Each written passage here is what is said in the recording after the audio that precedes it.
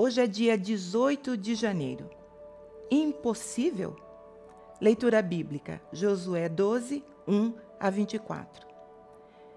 Parece humanamente impossível uma multidão de escravos ser capaz de vencer 31 reis, cujos povos e nações já estavam consolidados havia séculos.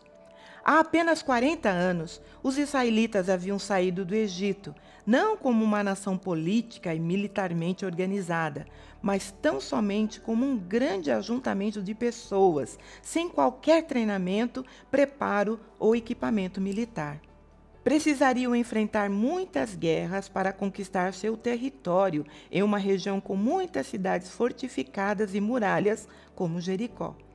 Mas o que parece impossível absolutamente não é o quando o próprio Deus promete que daria aquela terra ao seu povo, declaração que repetiu reiteradas vezes ao longo da sua caminhada para encorajá-los.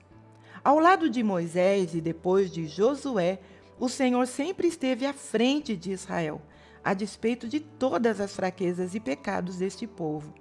Apesar do nosso versículo-chave aparecer em outro contexto, é perfeitamente aceitável e bíblico fazer essa junção, pois o apóstolo Paulo está falando exatamente da fidelidade de Deus no tratamento com o seu povo, dizendo que os dons, dádivas, presentes, promessas e o chamado de Deus são irrevogáveis.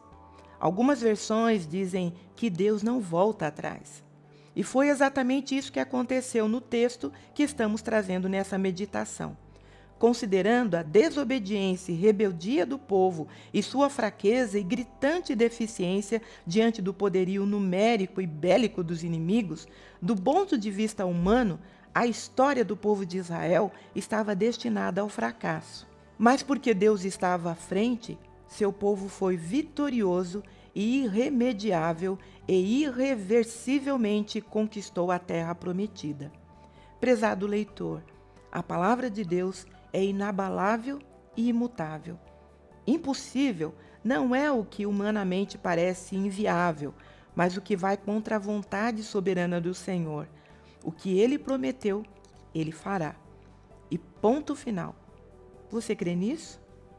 Confie no Senhor e obedeça à sua palavra e veja o impossível acontecer. Se você deseja adquirir o presente diário, acesse loja.transmundial.org.br.